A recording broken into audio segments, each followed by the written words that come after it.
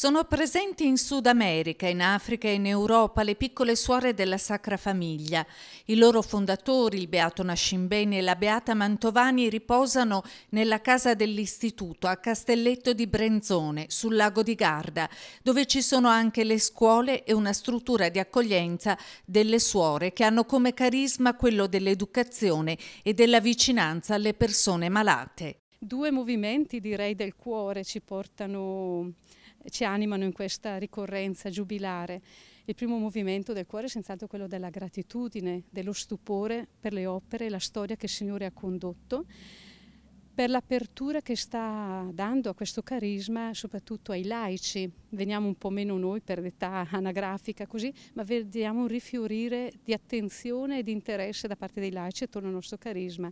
Secondo movimento del cuore è senz'altro quello di un desiderio di rinnovata fedeltà. Appunto il 6 novembre sarà lunedì prossimo la data eh, storica proprio in cui ricorrerà il 125 dell'istituto nato appunto nel 1892 per ispirazione e dono dello spirito al beato Giuseppe Nascimbeni e alla cofondatrice, la prima piccola suora che ha risposto e corrisposto al dono dello spirito, la beata Madre Maria Domenica Mantovani.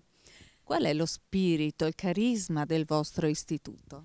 Allora, il fondatore ci ha volute tutte ispirate al mistero della Sacra Famiglia di Nazareth, difatti ci chiamiamo piccole suore della Sacra Famiglia. Era parroco di questo piccolo paese, allora Castelletto di Brenzone, che contava poche centinaia di persone.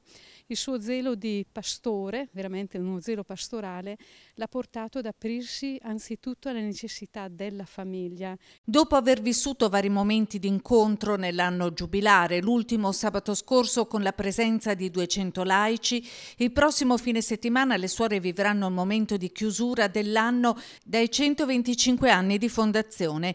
Domenica alle 11 la messa messa con il vescovo in parrocchia e il 6, data esatta dell'anniversario, il ricordo nelle comunità. Sabato questo, prossimo, sabato 4 novembre, che ricorda tra l'altro il giubileo della prima professione delle prime quattro suore, quindi a Verona, presso il monastero di Via Provolo, quindi è pure una data importante. Sarà una giornata dedicata a noi piccole suore, quindi converranno qui a Castelletto dalle varie case filiali le piccole suore per una giornata di spiritualità guidata dal nostro vicario generale, Monsignor ehm, Campostrini. E la sera poi invece per tutta anche la popolazione un concerto offerto dal corpo bandistico qui di Castelletto che pure ha la storia legata al nostro istituto, al padre del nostro fondatore, al papà. Domenica invece il culmine vero e proprio con la presenza del vescovo, Sua Eccellenza Monsignor Zenti, qui a Castelletto nella parrocchia che è stata la parrocchia del fondatore Beato Nascimbeni e quindi anche lì avremo la presenza di tutti i parrocchiani eh, nella chiesa proprio eh, dove ha operato e la terra che ha dato il seme è nato qui e si è sviluppato e germogliato da questa parrocchia per tanti ambiti.